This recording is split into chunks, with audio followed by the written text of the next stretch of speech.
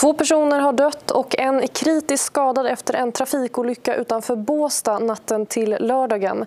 Nu har vi med oss Kim Hild, presstalesperson på polisen i Region Syd. Kim, vill du berätta vad det är som har hänt på platsen? Olika här under den tidiga morgonen eh, där eh, sex personer i en minibuss eh, stannat till på grund av att det började brinna i deras fordon. Eh, så vid E6 stannar de till eh, och eh, kort därefter kommer det en lastbil och kör på mig. Det är det som händer. Mm.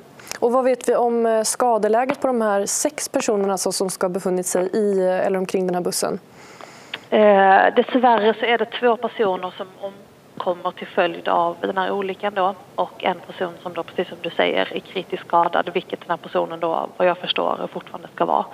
Eh, det är två personer då eh, som har funnits i, eh, i minibussen som lyckligtvis är oskadda rent fysiskt åtminstone. Mm. Och som jag förstått så är det här män i 20-årsåldern, stämmer det? Det stämmer, det ska ha varit en kvinna med i bilen om jag inte missminner mig helt och hållet. Men de är allihopa drygt i 20-årsåldern, ja. Mm. Och sen på platsen där alltså som ska ha varit i närheten av Östra Karup då, utanför Båstad så ska Eh, den här lastbilschauffören som alltså sen kör på den här minibussen har gripits på plats. Stämmer det och varför då? Det stämmer. Eh, I, i nuläget och framförallt under morgonkvisten så vet man absolut inte varför det här kan ha inträffat. Eh, så att vi behöver utreda alla möjliga misstankar mot honom och just nu så ligger misstankarna på honom gällande vållande till annans död och vållande till kroppsskada eh, och plus också vårdslöshet i trafik. Så det här är en, en väldigt allvarlig händelse som vi behöver utreda väldigt noggrant. Eh, så vi kan inte utesluta eh, någonting här egentligen överhuvudtaget mer än då att han inte gjort det här med vilje givetvis. Då. Mm. Och hur går ni vidare då med utredningen just nu?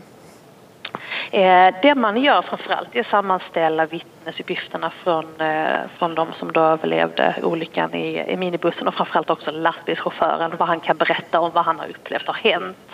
Ehm, men sen måste man även utesluta tekniska fel på hans lastbil och det kommer man också se över eh, inom den närmsta. Mm.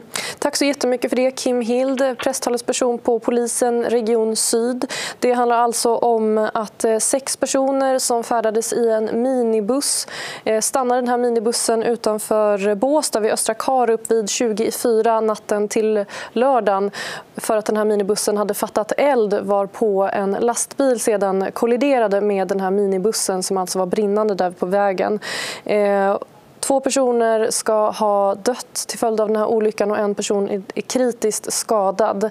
Eh, och den eh, lastbilschauffören, en man i 25-årsåldern, är gripen misstänkt för vållande kroppsskada och vållande till annans död. Vi kommer såklart fortsätta att uppdatera er om den här händelsen. Mycket annat kan ni läsa om på Aftonbladet. Så länge säger jag tack för mig.